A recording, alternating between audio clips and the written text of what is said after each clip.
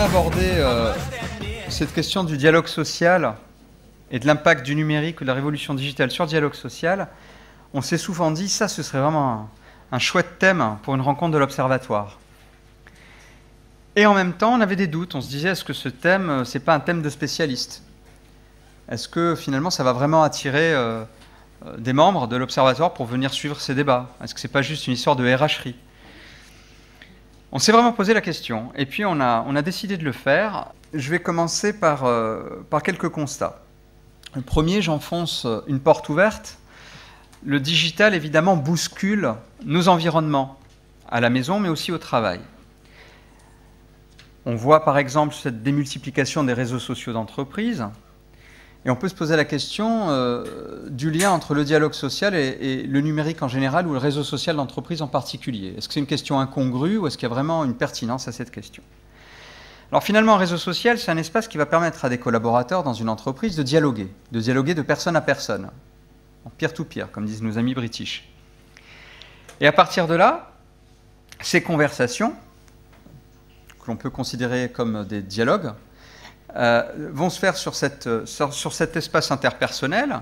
Et si on parle de réseaux sociaux, avec social dedans, c'est parce que c'est bien cette dimension euh, d'interaction entre les individus, entre les collaborateurs euh, de l'entreprise. Et du coup, on peut parler de dialogue social numérique. La démonstration est peut-être un peu facile à ce stade. On va essayer d'aller plus loin dans le constat. L'un des premiers points qui nous remonte des quelques années d'expérience, des quatre années d'expérience de cet observatoire sur le sujet des réseaux sociaux d'entreprise et du digital en général, c'est qu'il y a un point lié à la désintermédiarisation. Alors c'est quoi ce gros mot? Concrètement, c'est le constat que les promesses du digital et des réseaux sociaux d'entreprise sont celles d'abolir le temps et l'espace, puisqu'on peut échanger de manière asynchrone, on peut échanger à distance, mais c'est aussi de casser les silos de faire une sorte de révolution copernicienne qui permet de se rendre plus accessibles les uns aux autres. Plus accessibles aussi les patrons auprès de leurs salariés. On voit de plus en plus de démarches de blogs du COMEX, de blogs du directeur. On voit à travers l'expérience de Ask Ben chez Alcatel Lucent, quand M. Ben Verweyen arrive dans cette entreprise, la première chose qu'il fait, c'est de prendre une ligne sur un BlackBerry et de dire à ses salariés, si vous voulez vous adresser à moi, vous pouvez vous adresser à moi sur cette ligne, en direct. Bon, ça pose aussi la question de la nécessité ou pas d'être représenté, donc d'instance représentative du personnel. Je vais un peu vite, d'accord.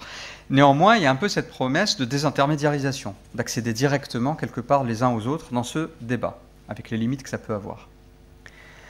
Deuxième constat qu'on peut faire, c'est qu'on voit naître des communautés. Vous savez, des communautés, c'est des espaces, des groupes numériques où des collaborateurs, spontanément, vont créer un espace, vont échanger, vont s'inviter les uns les autres et vont débattre et ils vont choisir le thème des débats. Eh bien, on voit de plus en plus de communautés dont le thème est un thème militant ou engagé. On va discuter, débattre dans ces espaces euh, de euh, la pénibilité au travail, de l'égalité femmes-hommes, de la place du handicap, euh, de la place des seniors, de l'intergénérationnel. Et ce, sans pour autant revêtir une couleur syndicale. C'est-à-dire que spontanément, on va se regrouper pour débattre de choses qui nous touchent. Et c'est quelque chose qui peut aussi être perturbant. L'image est un peu floue et c'est volontaire. Une petite anecdote pour illustrer ce point. Je me souviens d'un collaborateur, d'un collègue sur le réseau social interne d'Orange, qui euh, met un poste, qui publie un poste, et dans ce poste, il dit voilà, la place des seniors, je trouve qu'on s'en occupe mal dans cette entreprise, pour faire vite, et il signe j'exige une réponse en majuscule dans le réseau social. Et les réponses qui ont été faites par le collectif, ça a été pardon, cher ami, mais tu attends une réponse de qui? Parce que là, tu t'adresses à tes collègues. Alors, si tu veux débattre de la question de la place des seniors dans l'entreprise, il y a la communauté intergénérationnelle euh, qui fonctionne et, où on peut discuter entre nous de ces questions-là. Euh, si tu veux pas débattre, mais plutôt exposer un point de vue, tu peux créer ton blog dans le réseau social et exprimer ton point de vue et recueillir des commentaires éventuels. Mais là, tu t'adresses à tes collègues. C'est le réseau social des collaborateurs. C'est pas le lieu où on va exprimer à la direction ses préoccupations. Donc, du coup, ce qu'on est censé y faire, les attentes qu'on peut en avoir sont parfois un peu floues, un peu troubles. Et c'est assez intéressant. Alors, est-ce que cette révolution est réelle ou pas? Est-ce qu'on en tient vraiment compte ou pas? Est-ce qu'on accepte qu'il y a de nouveaux modes de communication? Est-ce qu'il y a réellement une reconfiguration du dialogue social? Oui ou non? Est-ce qu'on en fait un déni? Est-ce que c'est un tabou? Ou bien est-ce que tous, Quand je dis tous, c'est les salariés, les directions, nos partenaires sociaux.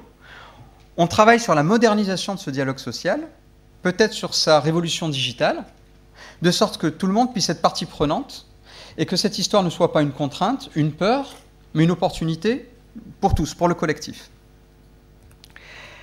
Évidemment, si on n'en tient pas compte, ça peut devenir du blabla.